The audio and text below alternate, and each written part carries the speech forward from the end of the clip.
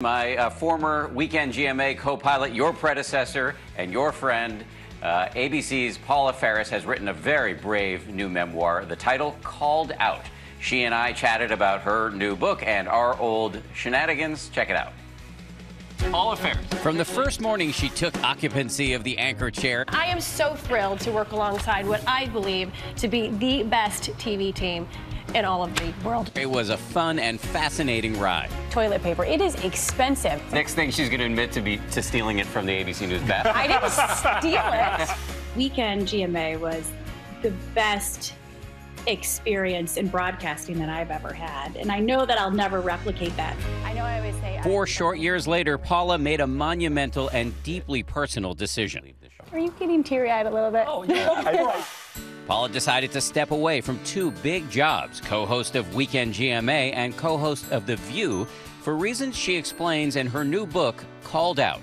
You know, I was leaning in so hard to what I'd been told to lean in, which is my career and my calling, and then I just burned out. We discussed the book in a video chat with our trademark mixture of jokes. I just ordered on eBay this like really great uh, doorstop.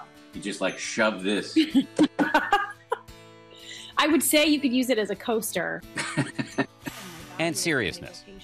My calling's not career. It's all rooted in my true purpose, which is to love God and love people, and that's not going to change. Her wake up, she says, came in a series of personal challenges, including a miscarriage on the same day when she landed an exclusive interview with former White House press secretary Sean Spicer. I have feel like I've been given the permission to branch out and to try new things and to not see myself so one dimensionally. And that's what I hope the book equips and encourages other people to do. Very proud of my mm-hmm. friend Paula Faris, who, by the way, joins us live from her house in South Carolina. And uh, Paula, I understand you have some breakfast food with you? I was told that we were all going to have bacon this morning. Why am I the only one that's following orders, guys? I wish we had bacon. I, uh, I miss you guys. It's kind of like we're all reunited, and I do love you and and I do miss you so much. And Dan, I texted Dan about five minutes ago. I said, "Are you going to say something nice about me?" And he said, "No." So I'm just glad that you did, that you followed through and did say something nice from the bottom of your heart. you guys, are you doing well? Yeah. How are you doing? The weather is way better down there in South Carolina. Yeah, you know, we're we're we're homeschooling as the sign behind me says, welcome to our beautiful chaos. I think we're all feeling that in this moment. But that's what I hope the book does, you know, to help people really root into true purpose and true identity and calling that don't shake in a personal crisis like the one I experienced or you know a pandemic like the one that we're going through right now i really hope it encourages and equips people. So and i do say a lot of nice things with um, and eva about dan in the book. And i should tell you i was not paid to say those things. They come from the bottom of my heart.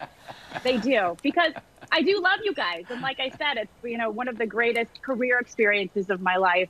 I love you guys a lot and um, just want to say thank you from the bottom of my heart. Well, Paula, we love you right wow. back. We are proud of you, as Dan mentioned. Uh, this is it's brave the way that you are presenting this, and I think it's important during this time of, of yes. reflection. It's a moment to reset for a lot of people, and I think your your book yeah. is going yes. to help people along the way. Thank you so much, and it's great to see you, Paula, Thanks, as always. Yes, and Dan was oddly quiet all, during that conversation.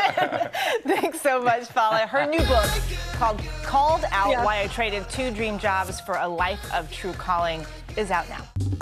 Well, hey there, GMA fans. Robin Roberts here. Thanks for checking out our YouTube channel. Lots of great stuff here. So go on, click the subscribe button right over right over here to get more of awesome videos and content from GMA every day, anytime. We thank you for watching, and we'll see you in the morning on GMA.